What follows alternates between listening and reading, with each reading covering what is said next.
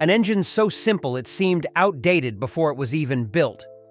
The Deutz F3L912 looked like something from a bygone era when it debuted in the 1960s. Three cylinders, air-cooled, no fancy electronics. While competitors raced toward complexity and power, this unassuming German engine went the opposite direction. It chose simplicity, and somehow, that choice made it unstoppable. Today, you'll find F3L912 engines humming away in remote corners of the world, powering everything from irrigation pumps in rural Africa to fishing boats in the North Sea.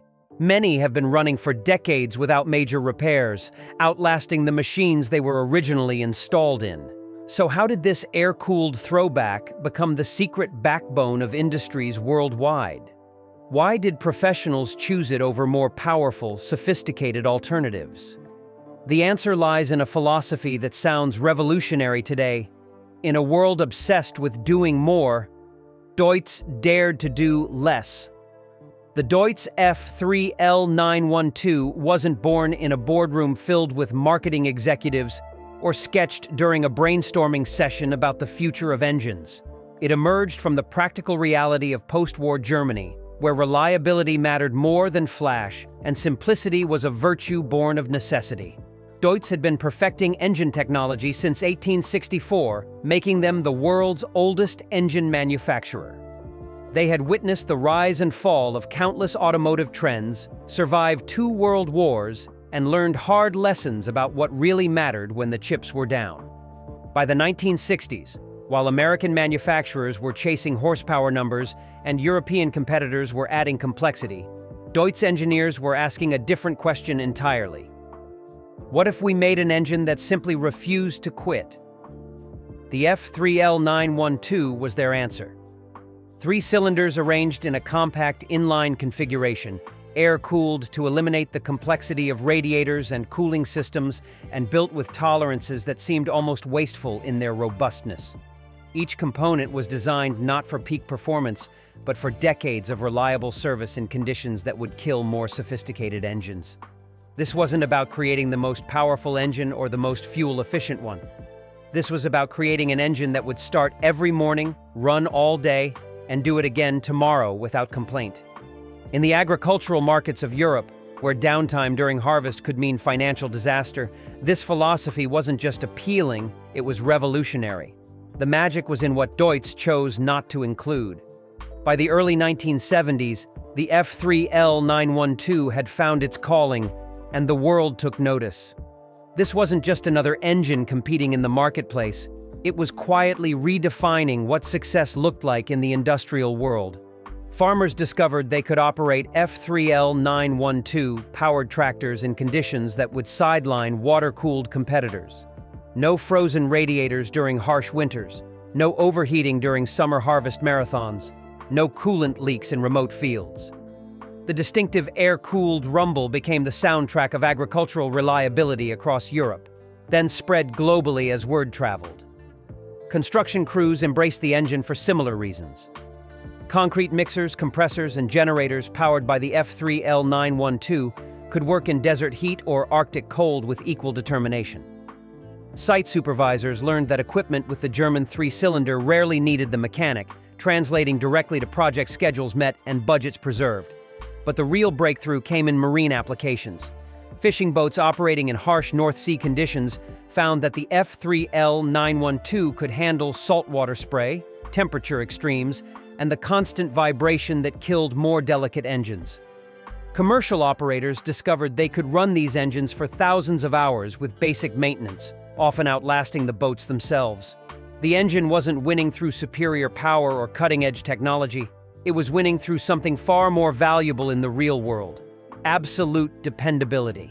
The F3L912 had become the Volkswagen Beetle of engines, proving that sometimes the tortoise really does beat the hare. What made the F3L912 so remarkably reliable wasn't magic. It was methodical German engineering applied with surgical precision. Every design decision was made with a single question in mind. How do we eliminate potential failure points? The air cooling system was the engine's masterstroke. While competitors struggled with complex radiator networks, coolant pumps, and temperature sensors, the F3L912 simply used ambient air flowing over finned cylinders. No antifreeze to leak, no water pumps to fail, no thermostats to stick. The engine could operate in temperatures from minus 40 to plus 50 degrees Celsius without missing a beat. The three-cylinder configuration wasn't chosen for smoothness or refinement. It was chosen for mechanical simplicity and perfect balance between power and reliability. Each cylinder displaced 912 cubic centimeters, giving the engine its name and providing enough torque for serious work while maintaining manageable stress levels on internal components. Deutz engineers built the F3L 912 with what seemed like excessive tolerances. Bearing clearances were generous, oil passages were oversized, and critical components were massively over-engineered. What looked like waste to accountants was actually insurance against the real world. Dirt, contaminated oil, missed maintenance intervals, operator abuse, the F3L912 absorbed it all and kept running.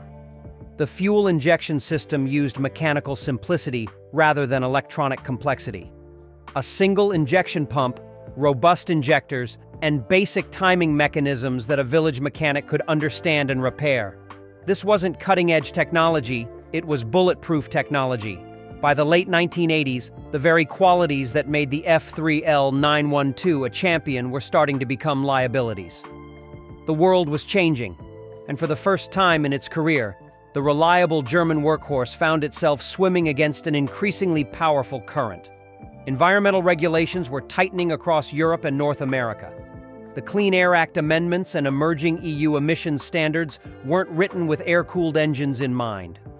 The F3L 912's combustion characteristics, optimized for reliability and durability, struggled to meet the new requirements for particulate matter and NOx emissions. What had been acceptable in 1970 was becoming problematic in 1990. Fuel efficiency demands were escalating as diesel prices climbed. Fleet operators who had once prioritized reliability above all else were now running sophisticated total cost of ownership calculations. The F3 L912's generous tolerances and air cooling system, while bulletproof, consumed more fuel per horsepower than newer water-cooled designs with tighter manufacturing precision. Perhaps most challenging was the sophistication revolution.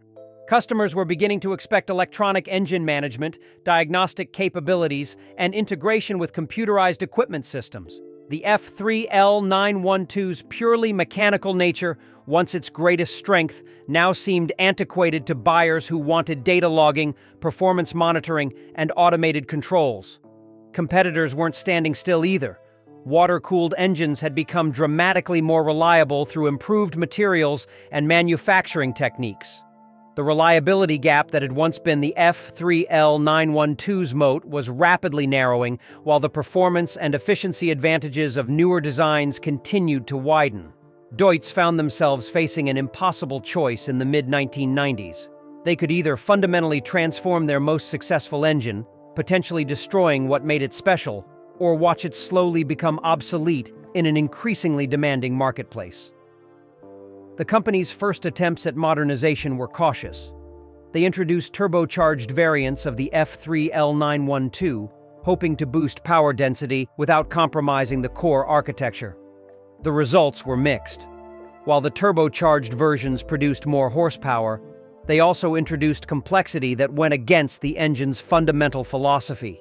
Turbochargers meant more components to fail, more sophisticated lubrication requirements, and higher operating temperatures that stressed the air cooling system. Electronic fuel injection experiments followed, but integrating modern engine management systems with the F3L912's mechanical foundation proved challenging. The engine had been designed for simplicity, and every electronic addition felt like a compromise. Fleet operators who had chosen Deutz specifically for mechanical reliability found themselves dealing with sensors, wiring harnesses, and diagnostic computers. Meanwhile, Deutz was quietly developing their TCD series of water-cooled engines, incorporating decades of lessons learned from the F3L912's success. These new engines promised to deliver similar reliability through modern engineering rather than brute force simplicity. Advanced metallurgy, precise manufacturing tolerances, and sophisticated electronic controls could potentially match the F3L912's legendary durability while meeting contemporary emissions and efficiency standards. The writing was on the wall.